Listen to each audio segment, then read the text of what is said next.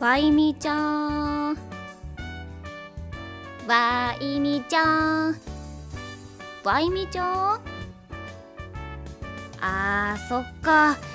わいみちゃん出張中だったな。会社も少し寂しくなったな。あよっすえいこだよ。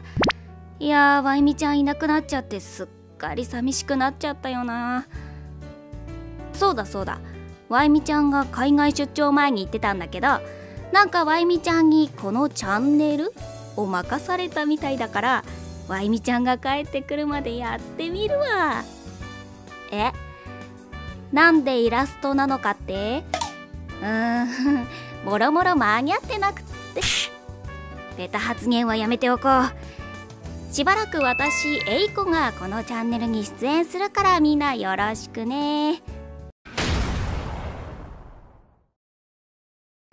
にしてもわいみちゃんどんなことやってたんだろうな。動画を見るとするか。ほいじゃあね。